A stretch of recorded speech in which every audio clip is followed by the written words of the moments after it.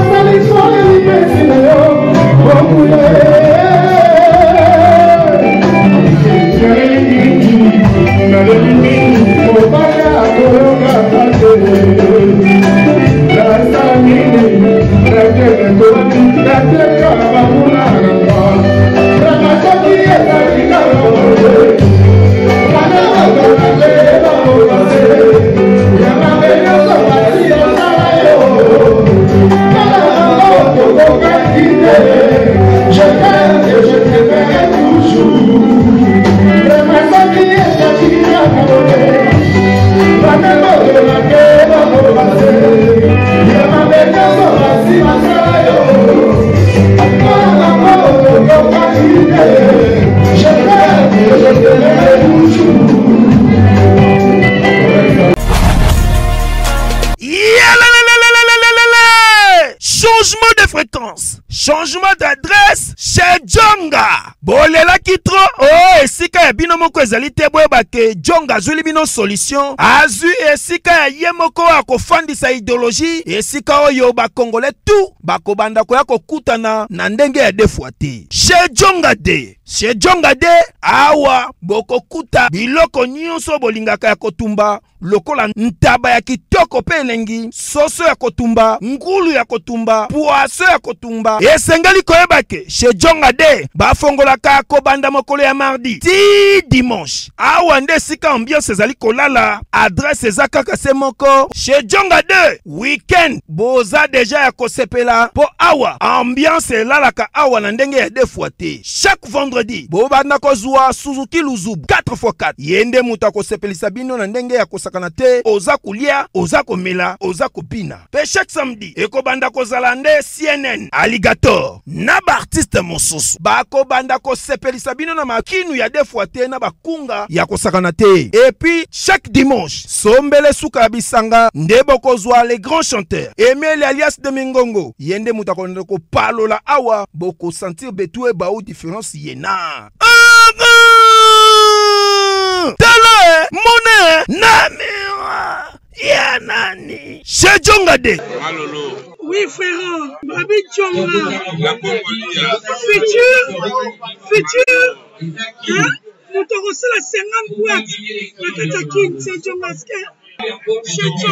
soki olingi osala bareservation obengi na banimero oyo mpe bakoservir yo joli kitoko chez jonga de yango nde moboko ya ambiance na kati ya paris se naturel oh. soin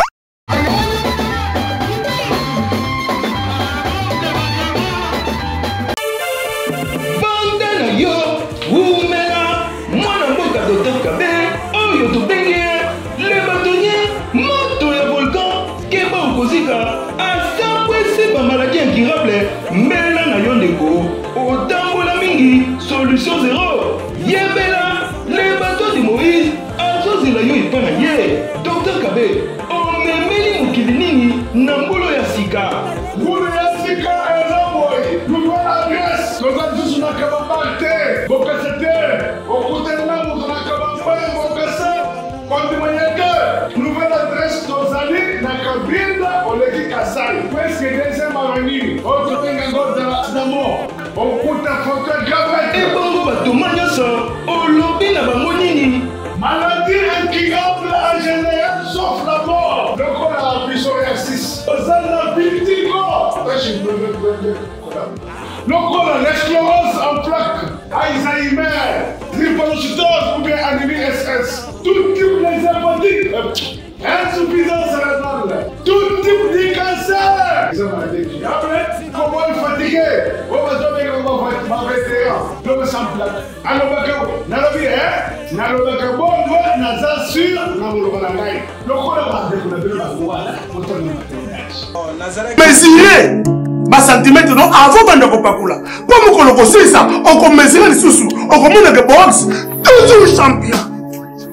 okomprendre bakristo nyonso nayakisi yo okozonga esika mosusu te na congo kaka na laboratoire me ya misine epuis esalami na banzete ya congo banzete kaka ya congo banzete mosusu te ya congo nde mama nakosi ye patro kosi te